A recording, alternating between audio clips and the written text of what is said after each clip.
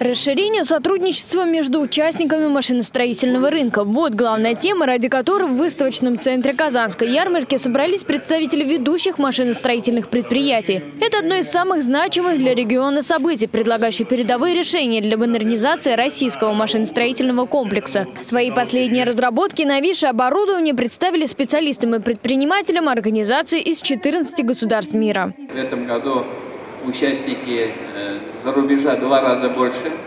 Мы искренне приветствуем как наших российских коллег, так и зарубежных.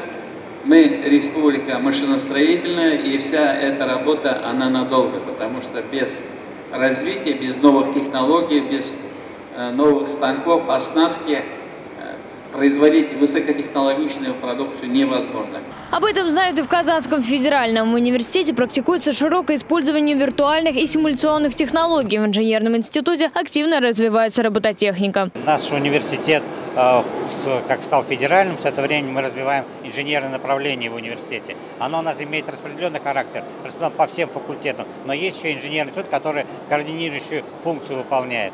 Ну, университет очень большой, а вот эта выставка, она и эти вот мероприятия, которые здесь связаны с машиностроением, они несколько узкозаточенные. Поэтому мы здесь больше позиционируем именно в передовых направлениях. Анастасия Иванова, Руслан Уразаев, UniverNews.